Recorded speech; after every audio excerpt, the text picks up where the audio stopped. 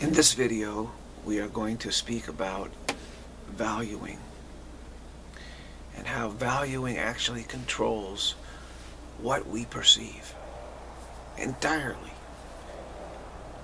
Entirely. And why we cannot explain to the ego. We cannot explain truth to the ego. We cannot give it spiritual explanations to the ego. Why? Because the ego does not value this at all. Since it doesn't value it at all, it cannot see what we're talking about. It cannot understand it. This is something that has perplexed me my whole life. I, I felt like, why can't I just explain this stuff? It's so easy, it's so obvious. what is enlightenment? Everywhereness. Seeing everywhereness is enlightenment.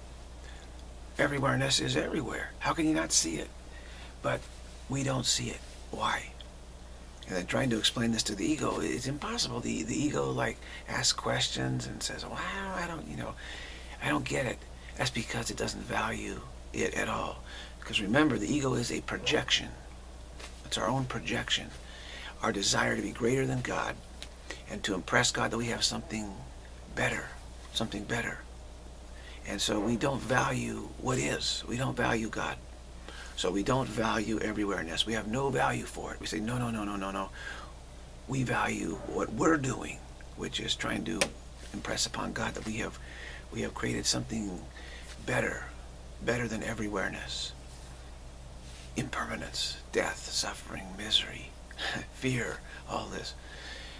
So we don't see everywhereness. We don't see it because we don't value it. That's why.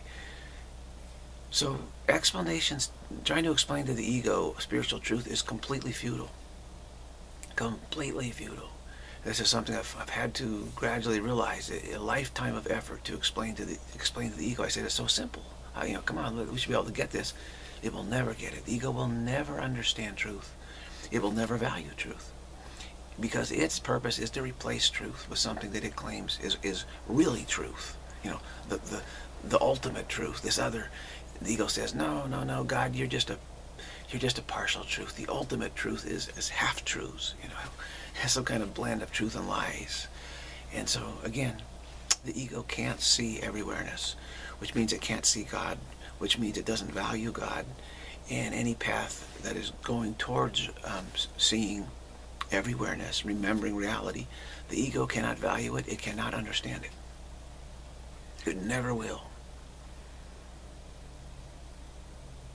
Sees no value there whatsoever. He thinks that we're insane. We're talking about this why are you spending all this time on something that has no value? It must be crazy.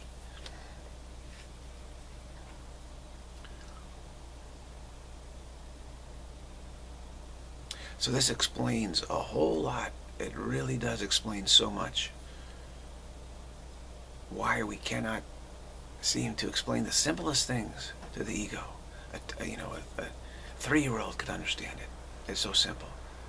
And what the ego can has been trying and trying and trying forever. I, I don't get it. I don't get it. I don't get it. It's really humoring us because it's it's really saying, "Wow, what's wrong with what's wrong with you? you, you you're you're uh, valuing something that has no value. You know, there's something wrong with you. You need some therapy. You need to be cured of this problem you have." So it kind of, the ego thinks it's a therapist actually and plays the role of the therapist listening to us talking about everywhereness and everything and shaking, nodding. Hmm, hmm, hmm. Can you tell me more about this everywhereness, please? Can you please describe it to me? And, and you know, it's, it's, it's really like a thinks it's a therapist. They're trying to gradually free us up from this uh, fixation with what doesn't have any value, according to the ego. of course, everywhereness, God is the only value there is. It's total value.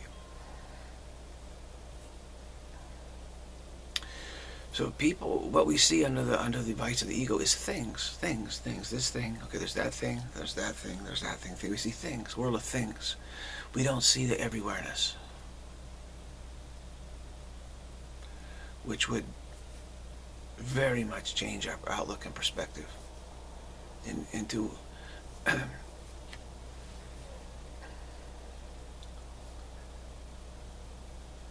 this changing our perspective is what we would call enlightenment, realization, liberation, salvation. from thingness, from thingness, from thingness, the whole belief system of thingness, from things, we realize that everything as it is, is self-released into eternity, as eternity, into eternity, as eternity. It is self-released as eternity, as eternal life. Everything as it is, is self-released as eternal life. There's only eternal life. There is nothing else. We would see that. We would see it. But we don't. At least the ego doesn't. Part of us does, actually. And we're trying to convince the ego. Because the ego says, you got to convince me you're not crazy. Well, guess what? You can never convince the ego that you're not crazy. When, when, you, when you're seeing everywhereness, the ego says it doesn't exist. What are you talking about? There's only these things with space around them. There's no, no everywhereness. You've got to work with these things and, and, and put them together and rearrange them and change them and shuffle them. And you got to do all this stuff that you're doing. That's what you're supposed to be doing. and the ego wants you to keep your motivation to keep on, keep on doing all this stuff.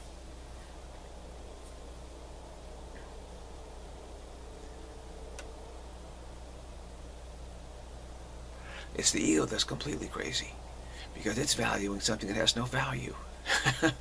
Denying value has no value. All right? Denying value has no value. That's a simple one, isn't it? Very simple. Denying value has no value.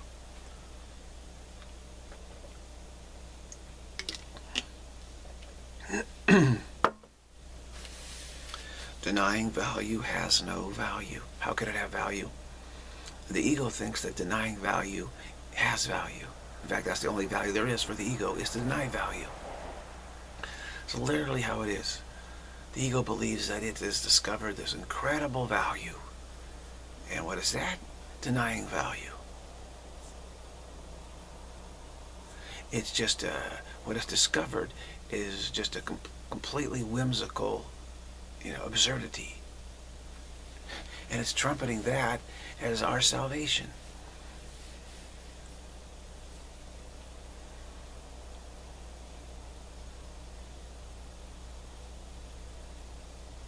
Okay, so we've gone over valuing. Now let's get into another uh, area of this video. Uh, I had a dream a while back that was a very frightening, alarming dream but it pointed out something extremely important. I saw that I was sinking and about to drown in a ship that was that had sunk and I was being pulled down by this very heavy oar that I was carrying that was uh, too heavy. It was, it was pulling me down. I finally threw it away.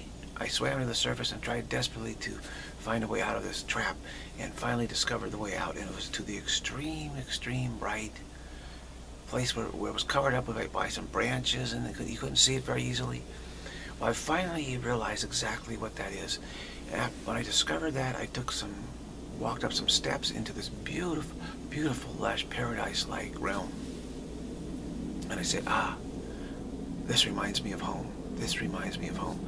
So what is this escape that was made? Extreme right spiritual practice is the escape. Extreme right spiritual practice. Now, let us draw a distinction between extreme right spiritual practice and right spiritual practice.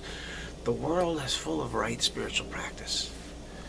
Go to church, you see you see a lot of right spiritual practice, you know, basics. Just, a, just kind of you say, okay, there's some right spiritual practice going on. But it is not enough to free us from delusion especially during this time, it is not enough. What we have to practice is extreme right spiritual practice. Only that has the ability, capacity to free us, to trump what is going on right now in this world. Only that. Anything less than that, you're going to fail. You're going to, you're going to drown. Extreme right spiritual practice is literally what we must do. So that's what I'm doing. That's what I'm about. I always have been about that. And people would always say, ah, you're too intense. You're, you're, you're, you're, you're it, it's, it's over the top. You know, you, you don't need that. We, we just, we're happy doing right spiritual practice. We say, say our prayers at night, and God, please help us out. And I'd like a, can you give me a nice day tomorrow? Thank you very much. Okay. Uh, fine. But that's not extreme right spiritual practice at all. Not at all. Very few of us practice extreme right spiritual practice. Very, very few. But that is actually what we do here.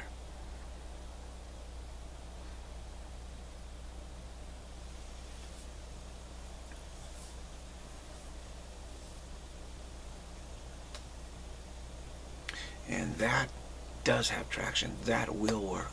This, this works. This works. Overcomes the world. This is what overcomes the world, is the extreme right spiritual practice. Doesn't have to mean that you do 24 hours a day, which but that would be good, but it, it has to do with your focus and clarity and uh, the, the way that you say everything as it is is self-released as eternal life. See, that's extreme right spiritual practice.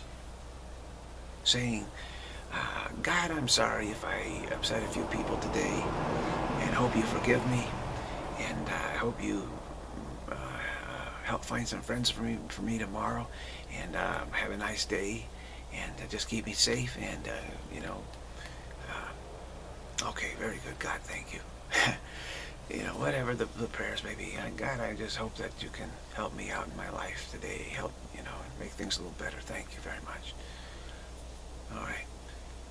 Got nothing wrong with that, but you got to go at this time shift gears, shift gears into higher gear.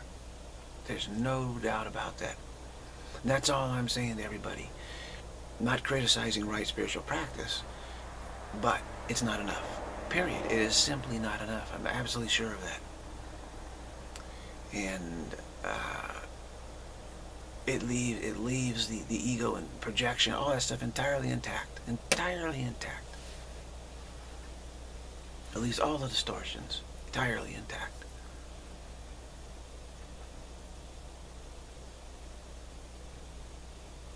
it definitely does not uh, free us from this incredible delusion uh, of, of not seeing everywhereness. We don't see it at all.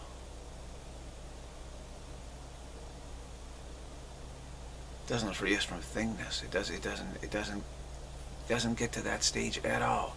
In in the world right now, we are in, in such a uh, besieged, besieged, besieged, besieged by the ego and its belief that the valuing, that, that valuing the valueless or not valuing value, denying value is valuable. We're besieged by that.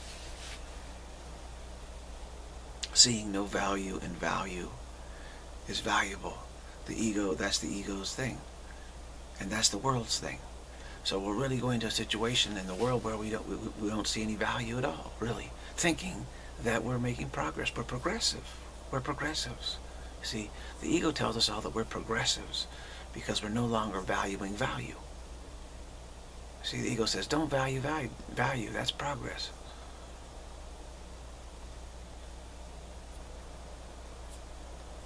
And that's where the world is going. You, it, the world is descending into this, this pit of, of losing sight of value.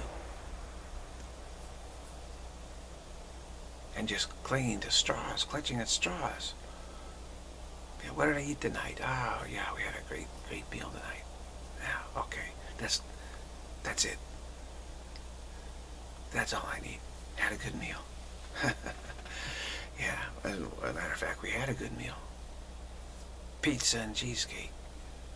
but, uh, you know, waste of time. What's more important is extreme right spiritual practice.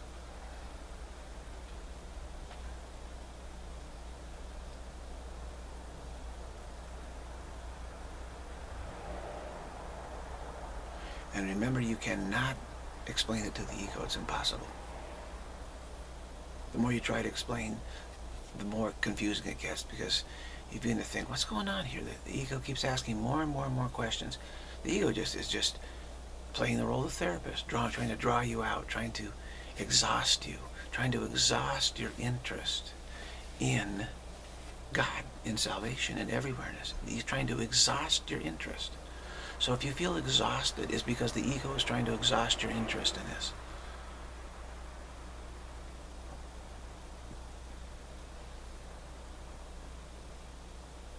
And you're holding on to all this complex of explanations and words and stuff, trying to explain to the ego what, what it is you're about and, and how it is you can see everywhere and all this stuff. And so you have this huge effort built up inside of you that you're holding on to, to, to, to try and explain to the ego what it's all about. And you can't do it. It's impossible. Complete waste. Let it all go. Let it all go.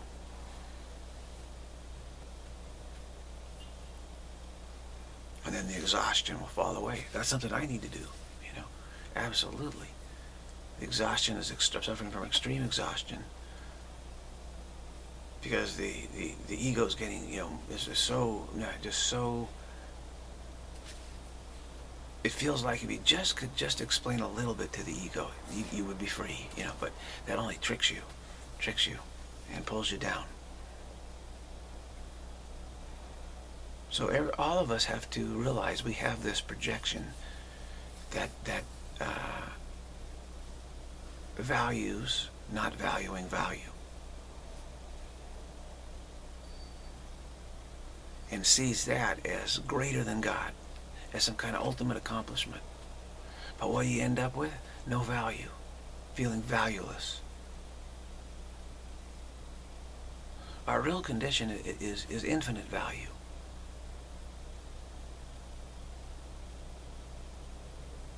We're completely one with everything.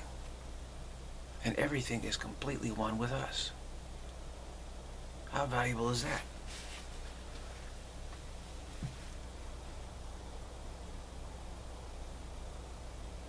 You see, we tend to think of, well, I'm one with everything. But it's also the corollary of that is that everything is one with, with us. So what, what I am right now, actually everything is one with that. Everything is acknowledging that. Everything acknowledging everything. Total kinship, total connectivity, total oneness. That's what everything is. So we have infinite value. We're the very essence of value. Everything is the very essence of value. You say this this this chair has infinite value. This chair, as it is, is infinite value. Is self-released into infinite value. I mean, we release it from our belief that it's a thing that only takes its value from from its you know usefulness as a thing and in relation to other things the usefulness of things no we're, we're releasing that it's self-release we don't release it, it let it let it sink release into itself into the real self the one self of, of infinite value infinite value optimal value total centeredness completely centered in infinite value. Everything is completely centered in infinite value.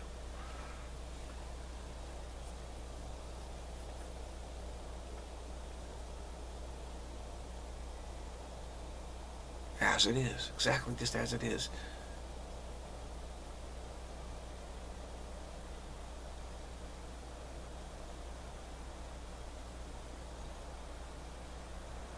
That changes your outlook on the world of things, doesn't it?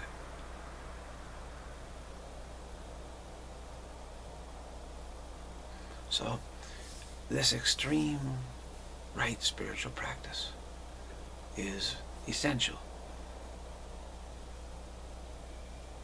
If we don't get it, it's because we can't figure out a way to explain explain it to the ego. That's why. Actually, we do get it. Everybody gets it, but they say, "How do I explain that to the ego?" You know, so the ego can, I can be my friend. I can stay friends with the ego. How do I how do I explain that properly? And so you're spending your lifetime trying to explain it to the ego, and the ego can cannot understand it. Get the, no value to the ego, no value. Cannot understand what it, what ha, what has no value to you at all. Cannot understand it. Understanding means actually valuing.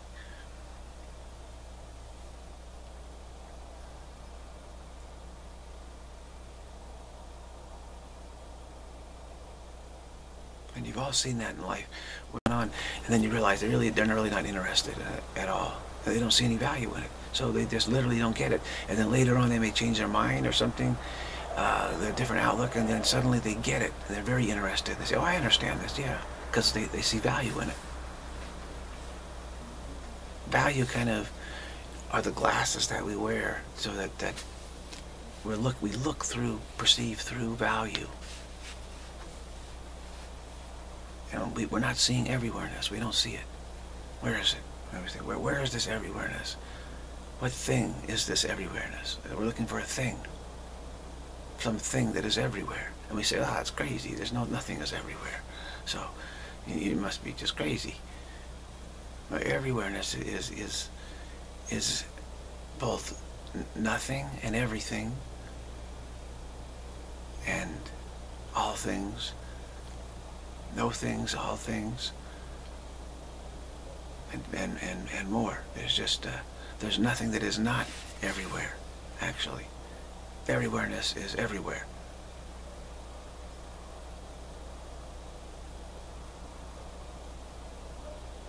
The simple, simple, simple, simple, simple truth of everywhereness is really what we're headed, headed towards. It trumps everything. It trumps all things. Anything, it trumps it, right? Completely. It's it's eternal life. And and we are we absolutely have to get that. That's called extreme right spiritual practice where the goal is all you know ultimate goal has to be set and we have to use the means to reach it. it means we have to value it. We have to value it. Now, there's a lot of problems in the world for sure. And will be more and more and more. And yet people still value the world. Why? They actually value the problems because the problems to them mean that they're greater than God. They say look even God God doesn't have these problems. But I do. Look at all the problems I have. I I've got something that God, even God doesn't have. I must be greater than God. This must I need to impress this fact upon God that I'm I'm I'm greater. Look at all these problems. So we value these problems, which is why we're attached to them, which is why we still have them. And in valuing problems, we will not see the everywhereness. The everywhereness does not have any problems.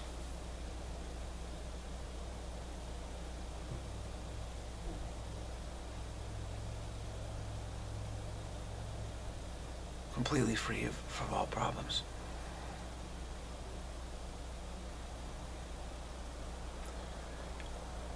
So as we ch change our valuing, as we do the exercises on, on valuing, uh, this literally moves us closer to seeing awareness. I'm aware that I'm, I'm get, you know, getting close to seeing it. Like I'm aware it's right there. It's just very, very close. It's just completely simple. There, there's no problem there. And of course, we're used to seeing problems. Okay, what is the problem? Okay, you know, we're very much trained, right, to, to locate problems. Okay, there are problems over there, safety's over here. Okay, this there's a, there's a potential problem there, potential problem. Yeah. We perceive problems, problems, problems, and, and trying to find solutions to them. So we overlook that which has no problems.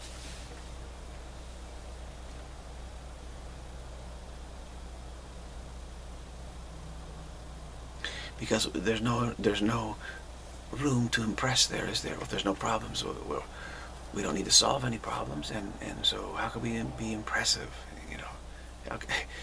So we think, ah, nothing there. No problems there, no, no reason to look at it any longer. It's just, uh, it's pleasant, but not impressive, we think. Not up to our standards. We have high standards. We have problematical standards. We have, we have to have some problems to show how great we are. So we look down on it. We look down on. We look down on God, saying, God, you, you know, you're not really that that great. You think you are, but you're really not. And uh, we we're we're much much better. We got all these problems.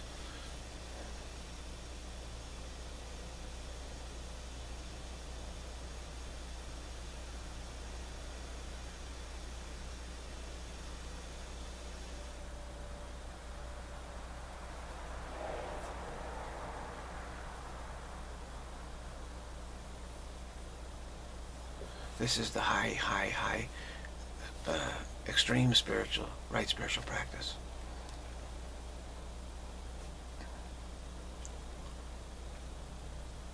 So at this time, uh, we must play the trump card. It's time to play our trump card, which is this extreme practice, which is available to us. See, most of us don't realize this, that we have available to us extreme right spiritual practice. We do. We absolutely have that available to us.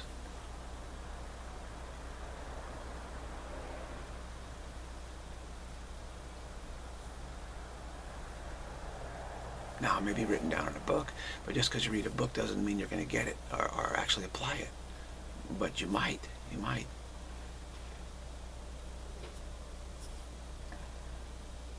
But usually people will take a book and they will cherry pick it to, to, to the extent where they come up with just right spiritual practice, some, some, some, some spiritual practice, but not, not the extreme right spiritual practice that is needed. They, they somehow sift that out because the ego doesn't value it.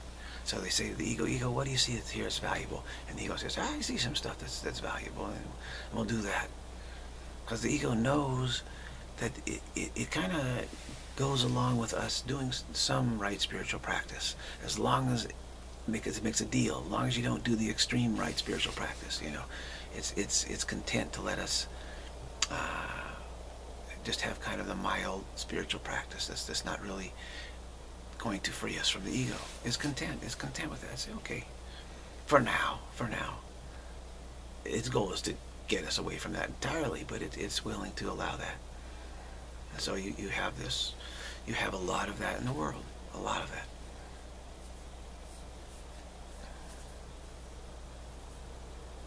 And the ego is really saying, oh, you're not entirely crazy. You're not so crazy. A little bit, but not so bad.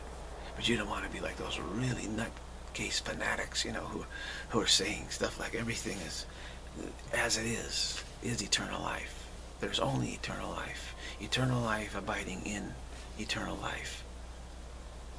Everything has always been eternal life. There's only eternal life. There is no other. Eternal life with no other. Just one life. The one life. There's just one life. There's just the one life. There's just the oneness. The oneness is all there is. Is, is, is, is, is. And the ego says, you don't want to be like that, but crazy, you know, at least you're, at least you're smart enough to, you know, just do this mild kind of spiritual practice and, you know, and you think, oh, okay, yeah, I'm, I'm, I'm, I'm, I'm, God's happier with me. I'm, I'm pleasing God more. I'm pressing God more with my moderation. I'm not, I'm not going out there and saying just is, is, is, is, is, is, is.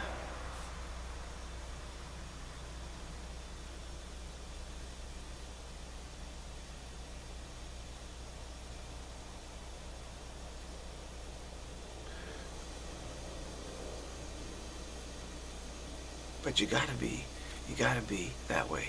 You got to be uh, a little, a little desperate to, to, to actually start to start doing this because the ego will keep trying to seduce you and thinking, ah, things aren't so bad. Don't worry about it. It's, it's, it's not a big deal. Just, just go on with what you're doing in your moderate practice and that, that, that's fine. But things are really bad, actually. Things are very bad here.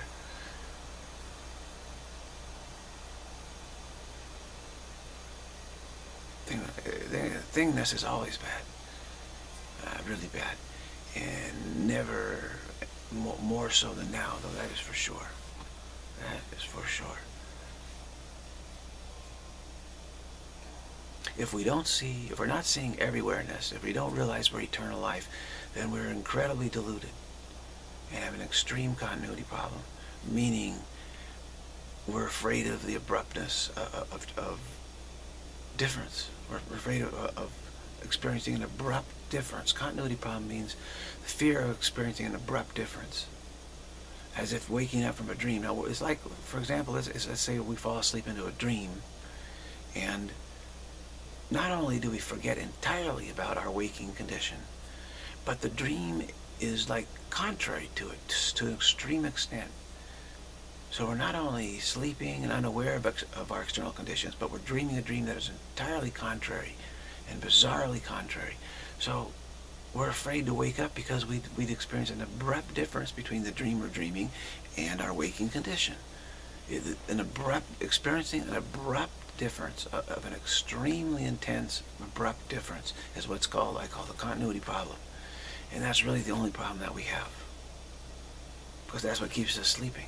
Keeps us uh, not seeing everywhereness. It keeps us from realizing God.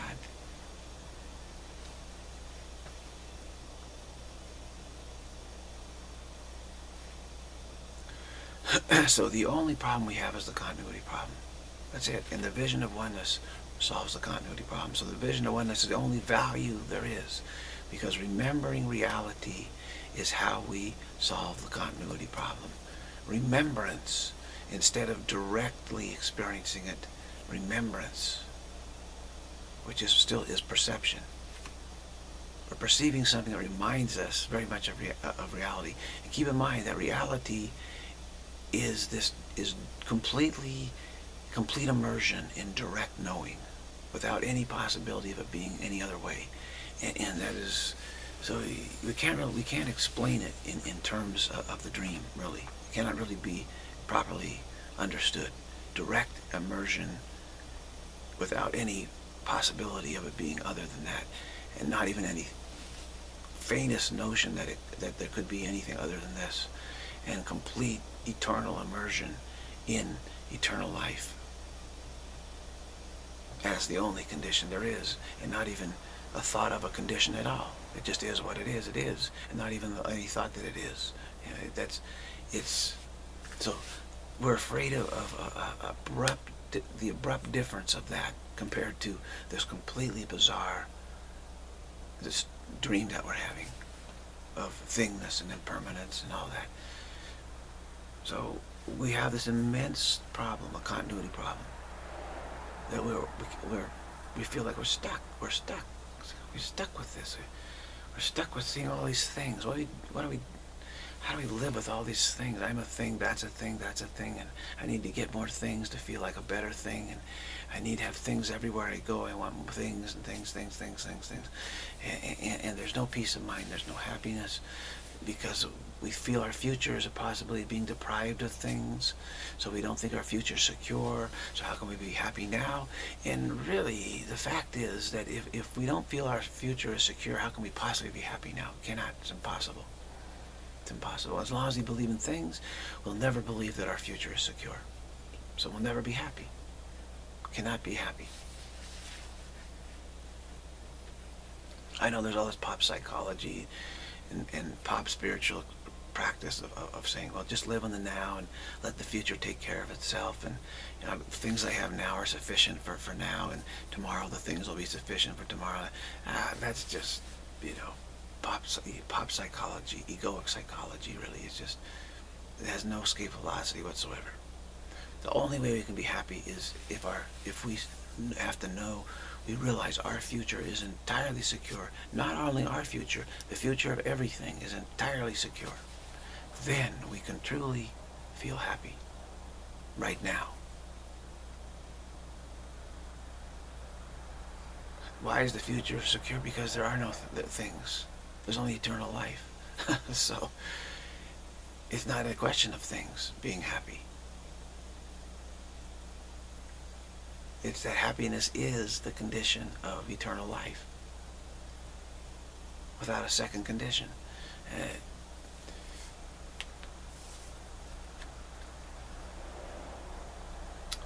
So we need we need the realization of, of everywhereness, eternal life, the vision of oneness. We need the vision of oneness in order to be happy, for sure, for sure.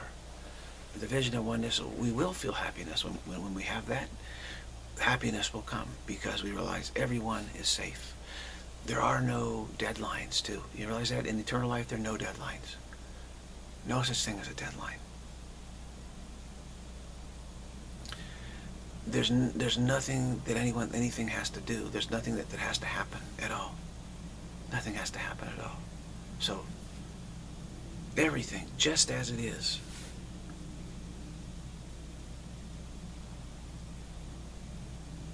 Without anything happening at all, is eternal life, is everywhereness, is perfectly centered, is perfectly one, is perfectly, perfectly one.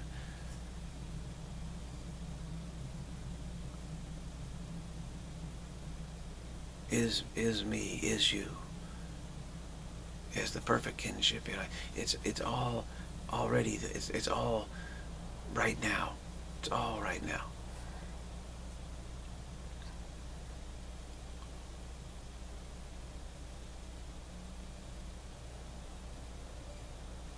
Nothing has to happen. No thingness has to happen. This world gives the impression that thingness has to happen that some process has to happen. No. No process has to happen for everything, for all to be all in all, for the oneness to be one. No process has to happen. It's, it's, it's what is. It's already what is. It's always what is. Nothing has to happen. So that that would give a perception like a plasticity to you know uh, to the entire everything. Just it's all kind of just one plasticity.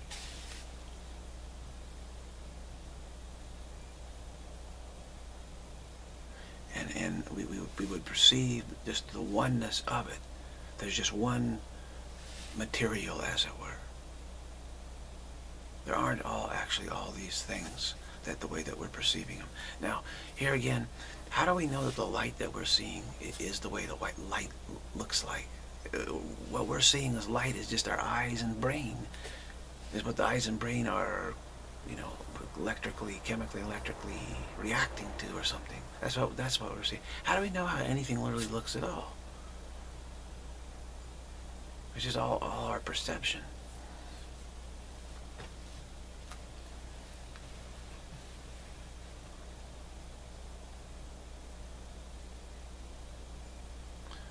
There's really actually no substance, substance at all.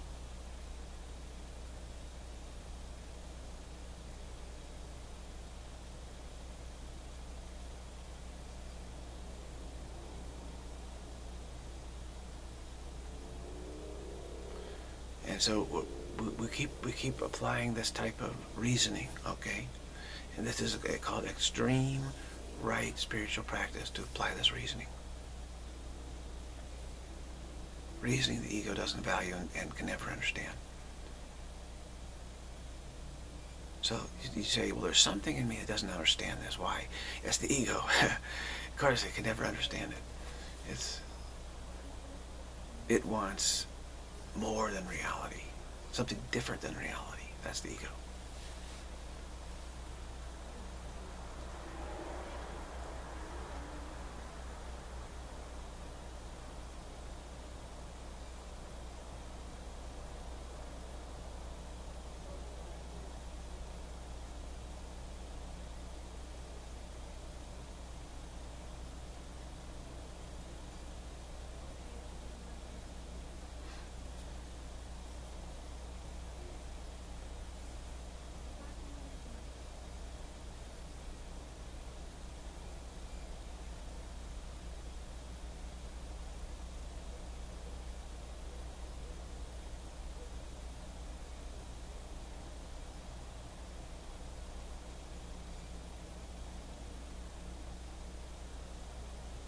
So that there's there's only this perfectly centered oneness everywhere.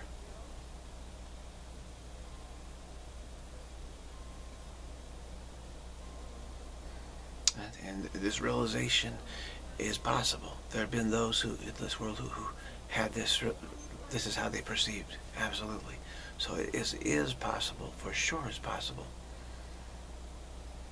It's just the ego says it's not possible because the ego doesn't value it at all. So the ego says, how can what I don't value at all, how's that possible? It's not possible. To, the ego says it can't be possible because it has zero value. And the ego says, what it has zero value can't exist. well, it's actually the ego that has zero value. So the ego really doesn't exist. The denial, it's just a crazy equation that the, whi- that whim has come up with to, to, to, to, be able to claim that we, we have something that God doesn't, that we're better.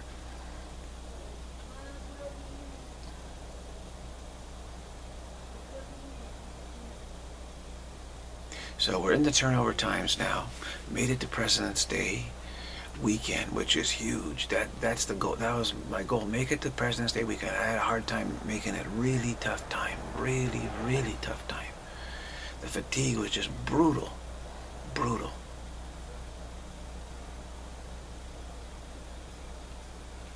That's the ego. Fatigue is the ego. Fatigue is the ego saying, ah, I, I, I can't see any value there. I'm so tired because I'm worn out by trying to see value where there isn't any. You know, it's, it's so the fatigue was, has been extreme as you go towards this uh, realization, perceiving everywhereness. The fatigue could get very, very extreme. I was actually had to to drink a little bit of Diet Coke because I, I was having a hard time driving. I couldn't stay awake. It was horrible. Battling this, intense, intense sleepiness and fatigue and exhaustion. Fortunately, I, I, I, I was able to battle through it and just, but it was just like, it was scary. A lot of hazardous driving and, and, and uh, situations that I had to battle through this week. Uh, brutal. But still, we, we were here and we're on the, on the, on the brink of success.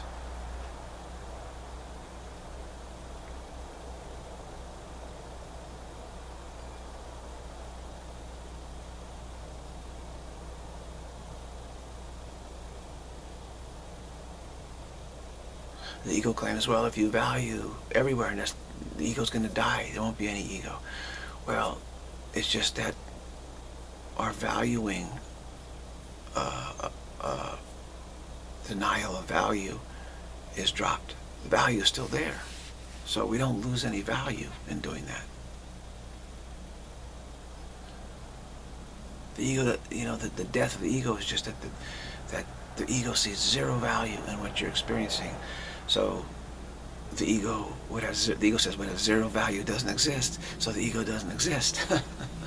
the ego doesn't exist. It's never really existed. It's only been a presumption and a hope and a whim, actually.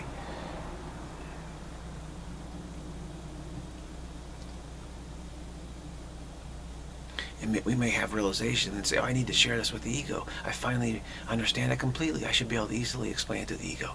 That's when we tumble away from uh, realization. I know there's lots of people who have had realization, but they don't keep it. And that's the problem. That's the problem. Yeah. I mean, I experienced enlightenment in 1978, but I didn't keep it. And as I, as I was losing it, I realized I was going to lose it, but that I would have to make a huge, really intense effort to eventually get back to this. Uh, I was aware of that, and so that's what I've been doing. So, uh, when we when we when we see see everywhereness, we say, "Oh my gosh, it's so simple, it's so obvious. my gosh, I'm seeing it now. Now I can, I can easy, I can explain it to the ego now." The, the ego's always been so interested in, in wanting to know. It's been such an interesting, helpful therapist, we think. And, and, and now I can finally, because the ego seems so curious and, and saying, can you please, you know, explain this to me? And finally, we think now we can explain it to the ego. And so then as we try to do that, we end up getting more and more tired, more and more tired, more and more tired.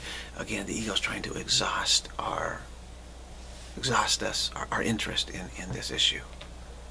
That's the flip side of fatigue and exhaustion, actually. Is the ego is trying to exhaust us, and it, it's exhausted in trying to exhaust us. So there's like a double exhaust and fatigue factor going on, actually. And so we then we're exhausted, and, and we say, "Wow, it's too hard to hold on to this enlightenment. You know, it's too much of an effort." And maybe that wasn't it. We think maybe that wasn't it because the ego doesn't understand it. So I better I better find some something else. More more sophisticated. The ego says, can you you know maybe maybe and you start thinking, you start you start outthinking yourself and start having doubts creep in because the ego doesn't understand it at all. And you think, wow, if it's this is really true, the ego should be able to understand it. Come on, what's going on here? So the, these these are the dynamics that cause us to uh, to fail, fail, fail, fail, fail, and we can't afford to fail anymore. Failure isn't an option anymore. That's what the world's going to do. Uh, so for those who, who don't want to go through severe failure, then we have to say failure is no longer an option. I don't have a failure problem. I have a continuity problem. And the continuity problem is dealt with by getting, you know, getting very clear about uh, the ego and, and how, you know, it fools us and how we try to, the valuing, getting very clear about valuing and, and, and the role that valuing plays uh, is, is completely central and crucial.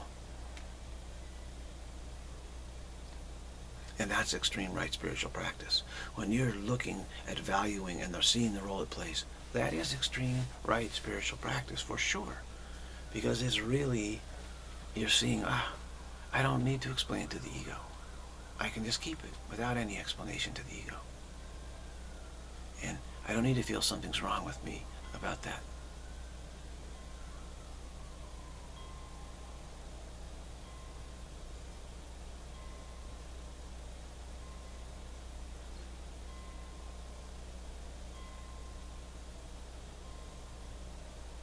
All right, so, President's Day,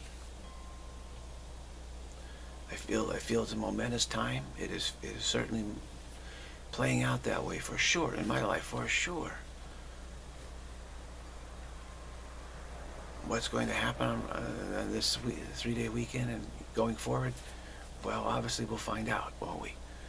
But we had we must be engaged in extreme right spiritual practice in order to uh, feel that we have the, opportunity uh, to, to, to be liberated from this, this, this mess, this crisis, this awful egoic vision of, of valuing the valueless or, or seeing value in denying value.